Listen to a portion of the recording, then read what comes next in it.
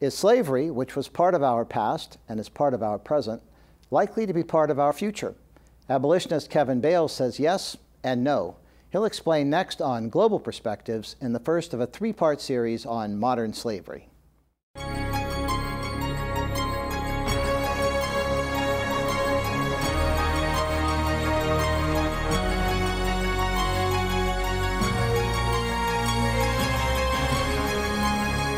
This is Global Perspectives with Pulitzer Prize winning commentator John Bersia. Welcome to Global Perspectives. Why has slavery become one of the worst problems of the 21st century? Abolitionist Kevin Bales, the author of a new book on the subject, Blood and Earth, offers a sweeping perspective. Welcome to the show, Kevin. Great to be here, John.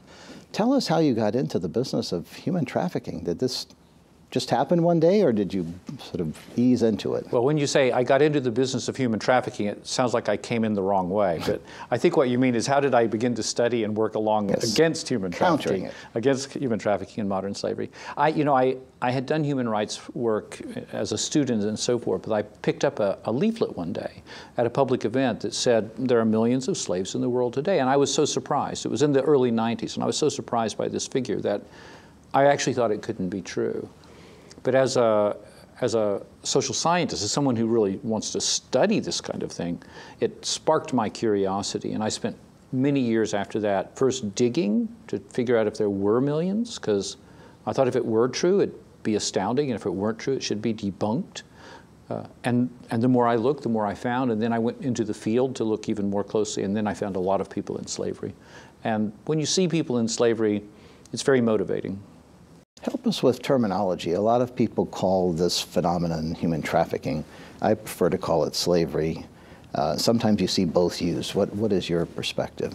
Well, I think the thing that we're talking about is that situation in which one person completely controls another person, and they use violence to maintain that control.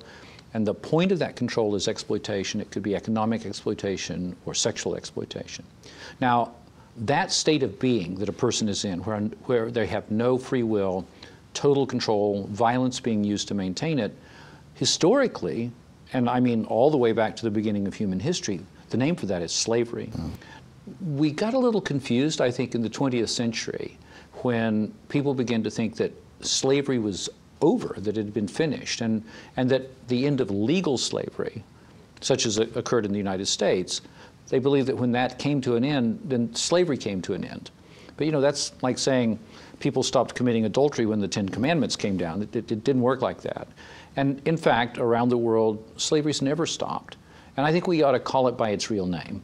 Human trafficking, on the other hand, which is a very powerful image, is normally, to my mind, how a person comes into slavery. It's a mechanism by which a person would be delivered into a state of being which we would call slavery. And of course, most of the people around the world that we would call enslaved don't necessarily arrive there through a process of human trafficking. Millions of people around the world, for example, are in heredit- still in hereditary forms of slavery. Tell us about hereditary forms of slavery. What exactly does that mean and how prevalent is it?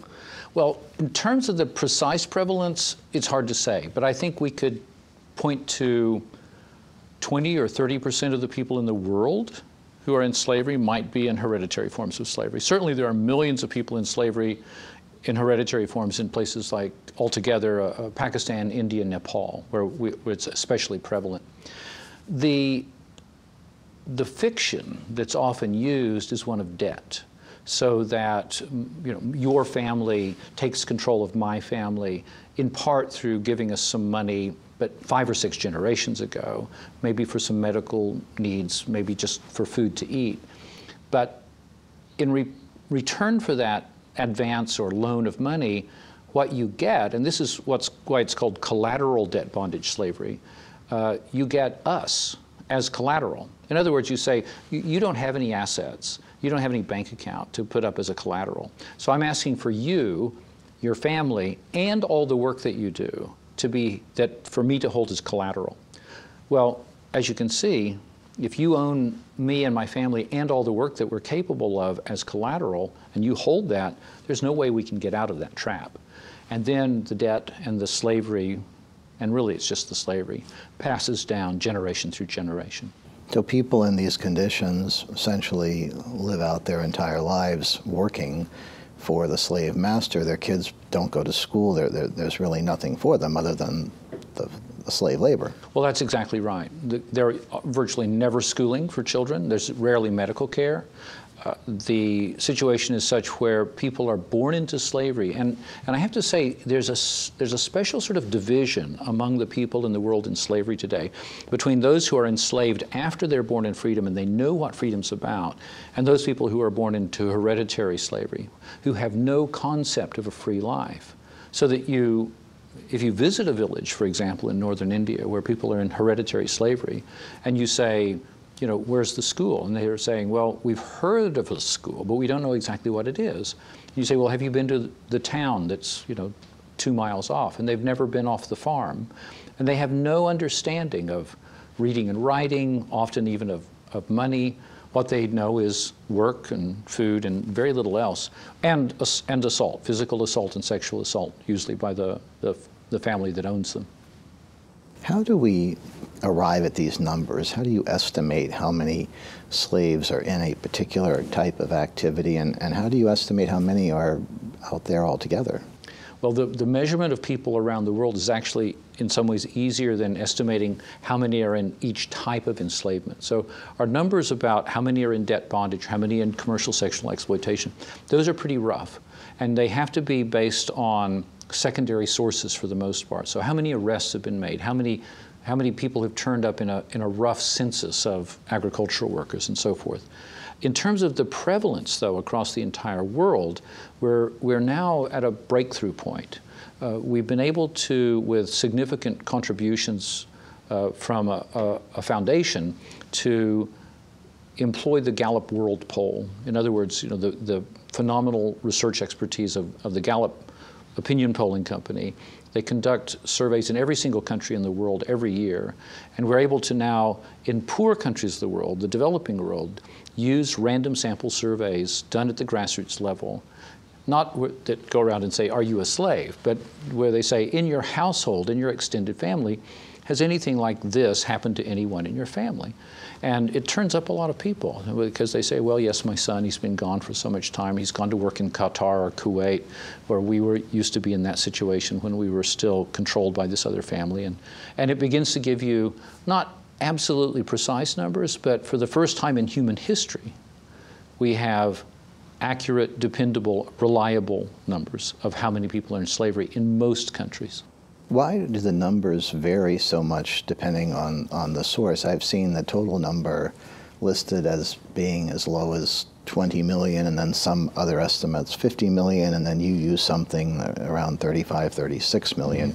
Uh, what, what accounts for all those differences? A lot of that account, there's two things that account for those differences in numbers. Though we're actually standing right now on the edge of, of all of those differences coming to an end. We're, we're at a moment where the organizations that are putting out different numbers are beginning to agree a methodology and a definition. So the key problem in the past has been how do you define slavery? The ILO, for example, who talked about 21 million, they don't use the term slavery. They talk about forced labor because that's part of the mandate of the ILO.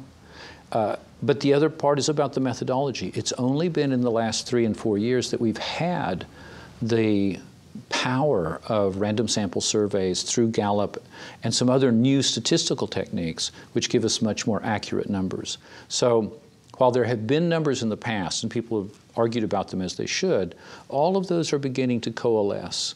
Uh, it tends to be that the number, the final number goes up a little bit every year, but that's primarily because every year our microscope gets a little, little more precise, and we're seeing a few more. We don't actually think slavery is growing when we, when we jump from 27 to 30 to 35. We actually think we're just seeing it better. How has your thinking evolved since the time you first started working on this subject? And you have been one of the major forces in defining the field with books such as Disposable People, Ending Slavery, and Slave Next Door.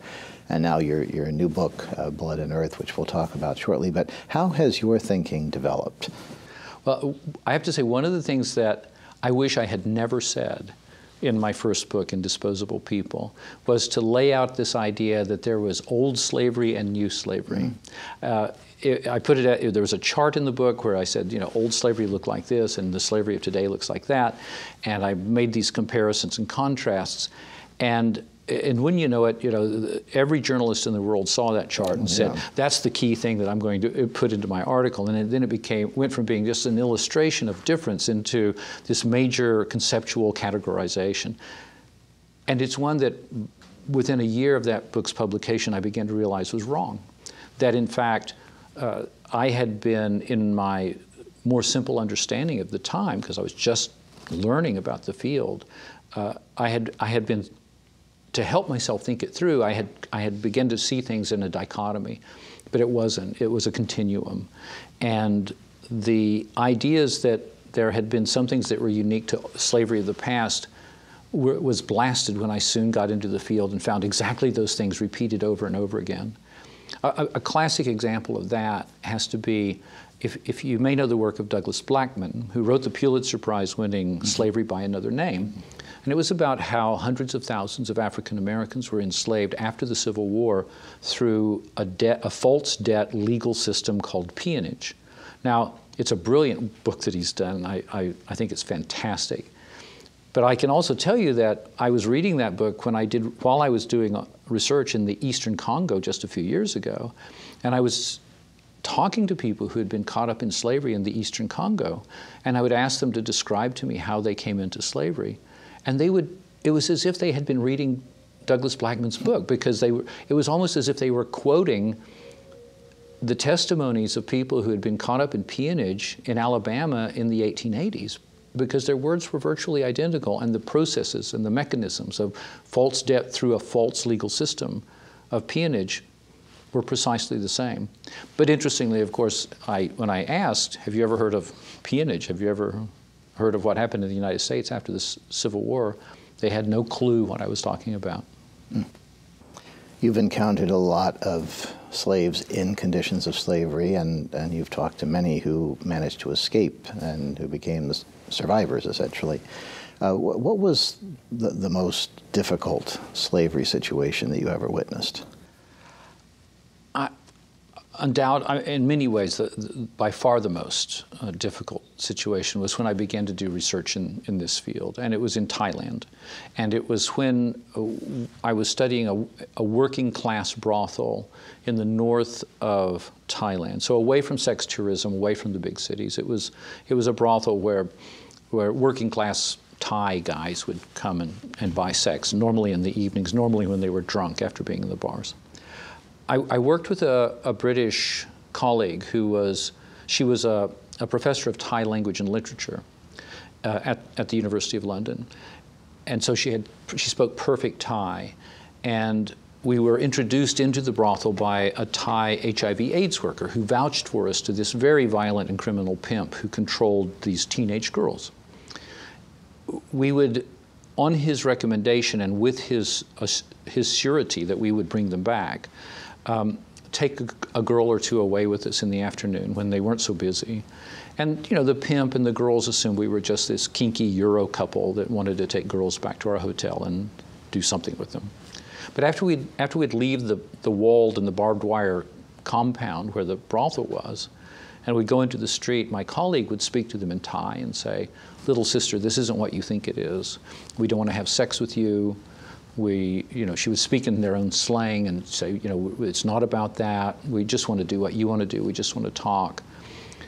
And these teenagers, 15, 16 years old, would, would immediately say, can we go to the temple? Because they wanted to go to the temple anytime they could to pray that they wouldn't get AIDS. And then being Thailand, we'd have a meal because everything happens around food in Thailand. And they would warm up a little bit and open up a little bit, and we'd hear about their horrific lives torture, gang rape, murders right in front of them. If a girl got out of line, they'd be shot right in front of them as a, as a lesson. I mean, it was horrific stuff. And then we had to take them back to hell. I mean, we, we had to take them back. The, it was clear that the HIV AIDS worker, they'd made it clear, the pimp said, you know, if you don't bring them back, I kill this guy. And we had no choice but to return these teenage girls to practically a, a certain death. That was terribly hard to live with. And it was terribly hard to live with because there was nothing we could do about it. Afterwards, in a sense, to help myself recover from that, I began more and became more and more engaged in actual work that got people out of slavery, so that I could at least balance those things up. But there was a, I reached a point when, even as a good journalist, as a good researcher, just watching was untenable for me. How do you answer the question that some people may pose about the work that you do? Because obviously you're enlightening people everywhere you go, but what, what are some of the more measurable benefits uh, from your work that you could share with us?